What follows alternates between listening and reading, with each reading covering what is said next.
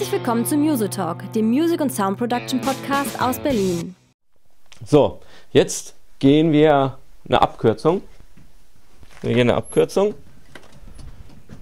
Denn ihr sollt ja auch die düsteren Ecken des Studios sehen. Die Kaffeeküche. so, mal ein bisschen Licht. Ich meine, ein Studio ohne äh, Arbeitsplatz äh, für elektronische Reparaturen und so weiter ist kein Studio. Mal gucken, ob ich diesen Raum aufkriege, weil dieser Raum ist der Hammer. Dieser Raum ist nämlich. Oh, das. Ich weiß nicht, ob ihr genug Licht habt und ob ich hier einen Lichthalter finde.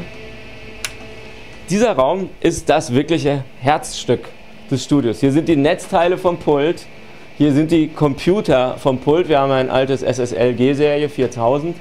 Ähm, das braucht natürlich so ein bisschen seinen, äh, seinen Platz.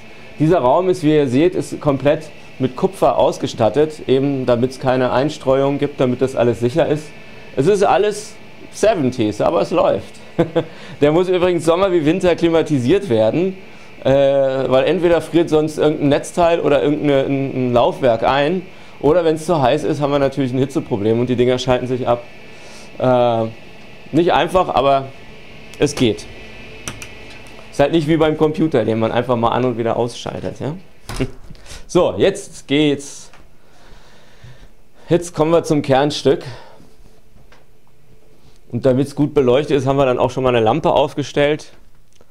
Die ist für den Studiobetrieb nicht notwendig, aber hilft, wenn man ins richtige Licht gerückt werden will. Ja.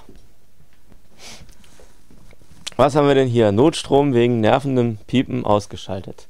Wichtige Informationen. Das ist das äh, SSL G-Serie, SL 4000, äh, E-Serie, Entschuldigung, SL 4000E. Auf diesem Pult wurde zum Beispiel Master Servant Depeche Mode gemischt.